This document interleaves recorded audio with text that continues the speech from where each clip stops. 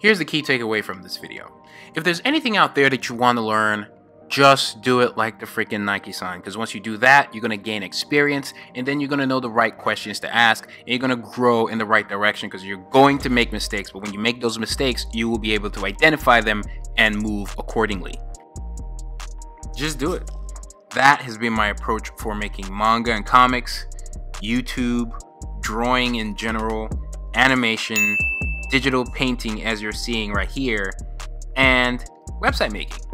Because just like the digital painting you're seeing me do right now, which is something I'm trying to improve at, I'm just like going for it and just like trying to do it and looking up resources and putting that together. And that that mentality, that mindset is what I want you guys to adopt because it ties into what we're gonna do in this video is where I'm going to basically make my website, a Whyt Manga TV website from scratch and I've never done it before. And I'm just gonna jump into it and just do it. And thanks to certain things like Wix it's made it a whole lot easier for everybody anyone whether you have any coding experience or not to actually pull it off. Full disclosure I have partnered up with Wix to bring this video for you guys and it was great for me because this is something that I've always wanted to do or wanted to learn or like wanted to take my own advice and and just you know jump in and just do it. Wix basically brings together beauty and advanced technology to bring you stunning websites. And you can use Wix, whoever you are, to build a stronger web presence. Wix allows you to promote your business, showcase your art, put an online store, and so much more. And regardless of whether you have coding experience or not, anyone can pull this off. Doesn't even matter what your business is, it's all on one website for you. You can just go in and go ham. You can build highly customizable, robust, and creative websites. It's all up to you whether you want to go very technical with it or you want to have some kind of an assisted experience to creating it. Is all up to you. If you're a vet, Wix is for you. If you're not, Wix is for you too. The tools are drag and drops. They're free templates to use, even free hosting, but you can obviously upgrade to more premium plans. And if you want to try Wix out, you can go to wix.com slash go slash Whyt Manga or use the link in the description. Uh, you can check out the website that I created, whytmangatv.com, again, all from scratch. And I'll show you guys how I put everything together in this video here. Again, for me, sometimes it's about being versatile and, you know, doing things that I have not done, trying to learn new things and just starting just jumping into it and you know seeing what happens and over time being being open to evolve and get better. So for the rest of the video you're gonna see me basically do like walkthrough of building this website and you know picking like say you know the right illustrations to show and things like that and putting that all together on the website. So the website is practically going to be this kind of like portfolio hybrid with you know my YouTube presence and YouTube videos and stuff like that. I've always wanted like a personal website that could serve as a portfolio or something like a newsletter where people can get news about me and things like things of that nature and tie into like the other cool stuff I, I think I do at least like you know making YouTube videos for you guys and making comics the list goes on one tip to help that I always apply when creating anything, not just websites, is kind of like before jumping in or just as you're jumping in to build whatever you want to build, you know, study your favorites and see how you can execute similar ideas in unique ways and seeing like what what fresh idea you could bring to the table just to stand out but it's it's fine to gain inspiration from other places. So in this case with websites, you go look at your favorite websites and see, you know, what you like, what you what you want to take away and see how you can translate that to your own language. How does that work for you, your style, what you represent, and you know, you go from there. I, again, I apply that to everything just like this painting here, I looked at a bunch of other paintings. I looked at, you know, real photos. And again, the character here is Damon from my series Bacassi. And so I'm trying to use, take this opportunity here to do more paintings because I don't do enough digital paintings uh, versus like cel shading anime style illustrations. And I really want to improve on my cel shading game. Um, I do think I need to go get some brushes, some specific brushes as well but it's one of those things where if I don't do stuff like this, I wouldn't know to go get specific brushes. I wouldn't know to figure out that all right, there's this filter or this blending mode that I need to apply. So it, it, it kind of ties into everything, and you have those kind of questions or thoughts come to you as you just jump in to do whatever it is you want to do. I had the same thoughts when I was, you know, starting in animation. I was like, oh, I, I want to do this actual thing, and then what the in this digital age making use of the internet and there's a lot of online resources and people that are out there ready to help you with blog articles or video tutorials that you can just easily learn from and boom you have what you're looking for. Probably going to put this illustration i'm painting on the website uh, so i'll basically update the website with this illustration and let's just go into how making the website came about so right from the jump, Wix is going to ask a couple questions and is going to make sure that your whole experience is tailored as best as possible to what you actually want to achieve. Options here for business, an online store, portfolio, CV, if you do music, photography, if you're a graphic designer, you just want to do blogs, beauty, the list goes on. And it continues to ask you a couple questions, and as long as you answer, it's going to tailor that whole experience to best serve you. You can choose to let the ADI create a website for you, or you can create it from scratch by yourself by choosing templates. But you can go the easy way and go through the ADI. And despite it being easy, the end result will still have a professional touch to it. Still have a couple questions. You pick the one that best serves you. Sometimes you can get a little uh, a little torn because it's like, hmm, which one best serves? Am I just a YouTuber, YouTube personality, comic creator, comic YouTuber? Well, what the hell am I? Took a second to figure that out. But I think once you understand what type of website you want to build, it becomes really easy, especially if you just want to have a portfolio feel, which is what I was going for. I wanted to do something that showcased my artwork, let people know what my style was and what I was into, showcase more artwork based off of what type of, say, commissions I would like to get.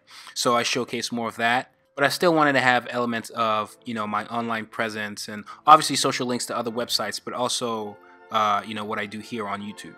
Here you get to pick things that you want associated like uh, features that you want your website to have. And you know online store you know booking you for events uh, having a chat feature a forum the list goes on. Pick a name. You can actually pick a uh, logo. And what wix can do is based off of that logo it can give you really cool options for what color schemes would work best. Add your social accounts so now you get to pick a theme. And I'm going to have the website pick a palette for me. From there you get even more options. And then you can look through them, you know, have a little scrolling in there. Uh, you pick what you want and then you can edit from there. So it's almost like it's based off of all the information you've provided, it would create options that it feels you would like the best. And then you can pick and then edit from there. Really, really easy and straightforward. The editing user face is also very easy to maneuver no matter what your level is when it comes to creating websites, whether you're a vet or a complete beginner. And then from here, it's giving us a couple, you know, things that are generic here, but you can go in and edit them and make them more personalized. So we have the section, we have the navigation bar at the top. We're going to edit that. And then you get more settings to work with sliding in from the left. See how you can, you know, view all the uh, social links here and uh, you can choose to hide or show whichever ones you want and they will appear, uh, you know, as is. And you can rearrange them however you like, but they'll appear on the navigation bar, you know, using this particular template. On the page. You can add sections. You can take away sections if you feel there are too uh, too many sections here. You can create all new pages and maybe move sections from this home page and move them to that page. And then, you know, for now, for example, here on this home page, there's a contact us section at the bottom. You can delete that and then recreate it in a whole new page and have a link to that page on here. General rule of thumb is you want to kind of have your home page link to everything in some way. Everything or every feature on the website.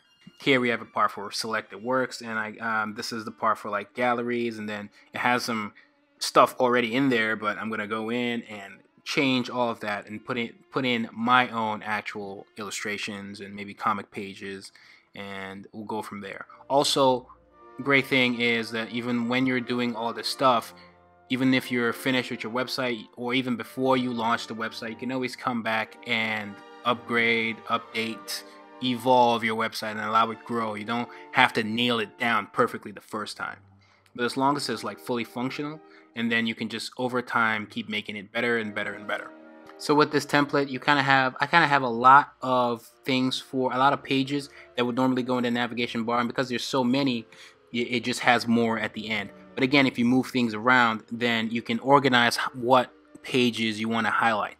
And so here's an about uh, about me section, and then you'll just go directly there to that page, and you can navigate through all of this without having to click on the actual buttons or icons or links on the page that you're editing on. But you can you know navigate through everything uh, on the using the settings that slide through the artist bio. You know, eventually we're going to change that image, put something again, make the website as personalized as possible. You'll be able to just go hover above that image and just right click and more options will appear on the right, on the, on the left, and you'll be able to, you know, change that and um, even create a pool of uh, assets to pull from when you're doing that. But again, for each page, you can also change the look. So we're customizing the section here and seeing if we can, you know, switch it up a bit, make it more appealing right now, just focusing a little more on the header section. All of this stuff, by the way, I did on the first day. So again, proving the whole my whole point of the interface being very easy to maneuver through, very easy to use. Nothing too complicated here. Everything is very self-explanatory. So if you're looking at this and feeling that oh, it's a little bit overwhelming, it is not once you once you hop into it. So I think it's just it's the same thing with drawing sometimes. And when uh, you see a drawing or illustration that's just too complex, if you just have that uh, mindset of just just do and keep in mind that you're just going to get better at it or you're just going to even improve whatever you're working on. Um, if you have that mindset, it will help you grow. Because everything you see me do is me figuring it out on the first try.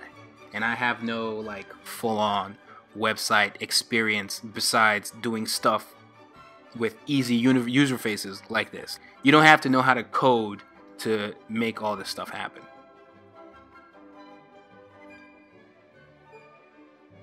Again, fooling around with alternate ideas for how I want that navigation to look at the top. So I want the icon on the left. And then once you go to the icon, you can edit the icon again to increase the size. And also that plus sign allows you add new sections to it, but I want my homepage to be very simple. Um, I'm actually going to take away things from this homepage here. I think well, um, I'm going with a more minimalistic approach. I believe when you're doing these uh, websites, it's always good to have an uh, base idea in mind, and I wanted to go for something very minimalistic, but still looking professional. Uh, I wanted to go with that approach and not have everything be too congested. I want to have people scrolling for a long time on any page. Eventually we're going to go in and start changing all the images. These are like default images in that Wix just found for you. Just because I said like artist, so it's just going to put that stuff in there in case I don't have any images at the time, but you can always do that. So here you see me, I'm deleting sections from uh, from from the website, deleting features and pages from the website that I don't want, or at least don't want right now. You can always add them back later if time calls for it. So if I want to start selling things on this website, I can come here, add more sections, or add create a new page if I want and add sections to then start featuring, you know, what I want to sell or new content or whatever the case may be. If I want a chat feature, I can come back and add that in. The list goes on. So here, me being the YouTube person, I'm trying to put in more uh, of that feel and adding embedding certain aspects of my YouTube channel on the website. So essentially adding a feed. So this way, anytime I upload uh, a video to the YouTube page, it automatically updates on my website. So if anyone goes to the website and they they somehow access the playlist that's here, it will automatically, I can even make it have an autoplay feature on there. So if you go to the website, the video automatically starts playing. Or, you know, if they find the, the playlist, it will just be uh, updated automatically. Again, if all this stuff is new to you, again, just have that patience and just pick a period in during the day and just focus on it. Read what you have to read. Everything is very easy to understand and self-explanatory. And don't be afraid to, you know, push that button, see what that does. And trust me, you probably would know already just by reading it, uh, whatever the title is. But it, it's it's fun to experiment. So this was actually fun to do since I've always wanted to have a website like this, and um, if it, if it's something you want to do, it can easily be done.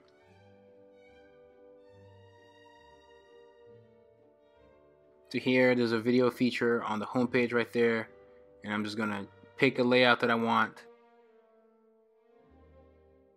Uh, hit on design when I'm on that section, and I can you know change the section design if I'm not pleased with what I'm seeing. I can pick one with thumbnails to other videos. At the bottom, I can pick one that just shows one video, uh, leaving them some kind of menu icon to click click on for you know more options. Uh, see, know, video video info if I want to give them video info, the title of the video if necessary, and you have like a list of options to choose from. So you can also, I can also do it where I have sections that are showing different YouTube channels. So in this case, I you know have just one to show, and we're just going to go to Whyt Manga, and you kind of keep mess keep messing with it until it's what you want. I delete some sections that I know I, I don't want to have anything to do with, at least not yet.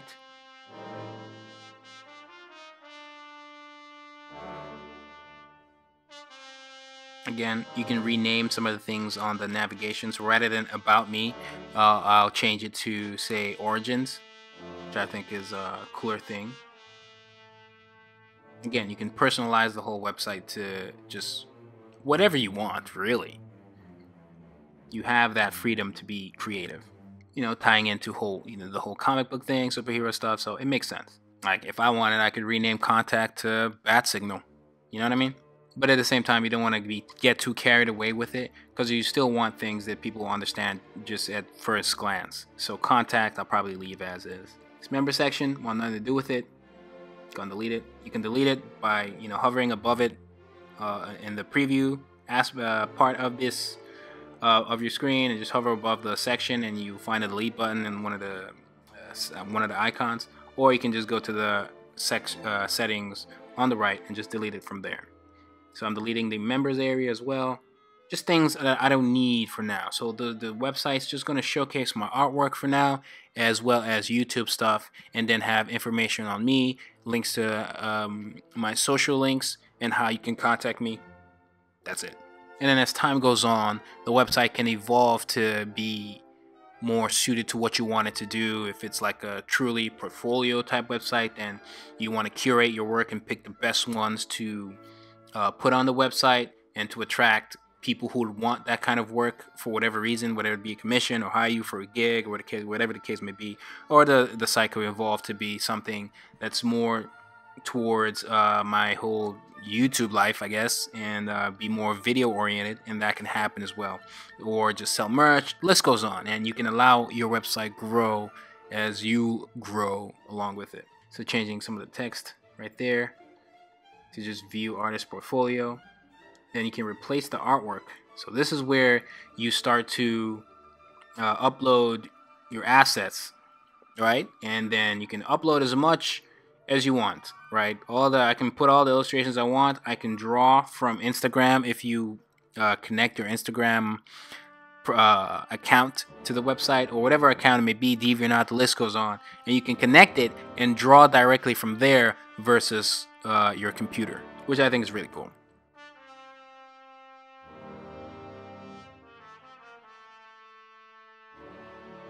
So I'm picking that illustration and I'm uploading it.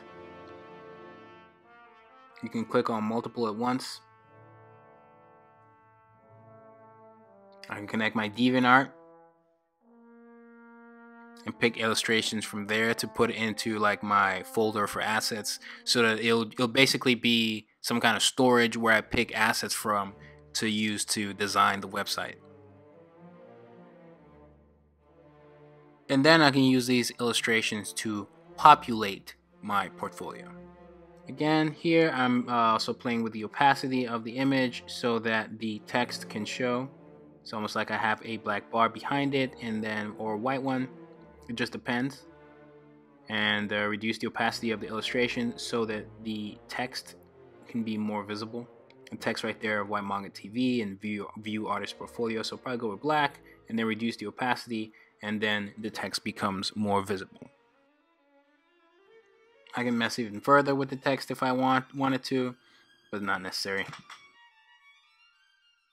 I have this section here, which is uh, basically a link to, or just kind of like a preview of the portfolio that I just don't want there.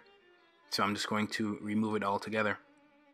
So right now the home page just has a cool illustration, you know, explaining what where they're at, link to links at the top and also links in front of the illustration to my portfolio, a video portal embed thing to my YouTube channel, and then a, a, uh, a form where they can subscribe, kind of like a newsletter, and that's all on my homepage. That's it. Kind of going for the simplistic approach. Gonna add my social links, make those visible at the bottom as well. Now on the portfolio page, I'm gonna edit these, and so all these images here have nothing to do with me, so they're gonna go bye-bye. So you hit on, click on manage, and then you have all these illustrations here, and you can see the numbers in there to indicate your order. But I'm gonna delete all of them, populate them with the illustrations from my, you know, asset storage called site images, and then you know we rearrange it however we like, and that's it's that's it's that easy, guys. So we're uploading from the site files. We click on the images we want to actually be in there, and then we go from there. Here I've clicked on all of them, and I've just put them all in there. So I can then go in and rearrange, give each illustration a title and a description, a link if necessary, and then you just work that way. I can also have it link to, say, you know, the actual issue. So that illustration is actually the cover I used for uh, the back of Volume 2, but I also used it for uh, a SatAM issue cover for, I believe, issue 65. And I can have the illustration link directly to where people can get it if they want, get that particular digital magazine issue if they want it.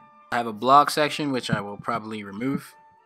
And then here in the artist bio, which is kind of like origin story, I'm just going to delete everything that's there and just replace it with something, you know, more, I guess, me and then I will link the learn more button at the bottom to where they can literally learn more. Most things in um, text, uh, illustrations, logos, all those, you can actually turn them into links to, you know, somewhere else on your website or a completely different website. It's completely up to you.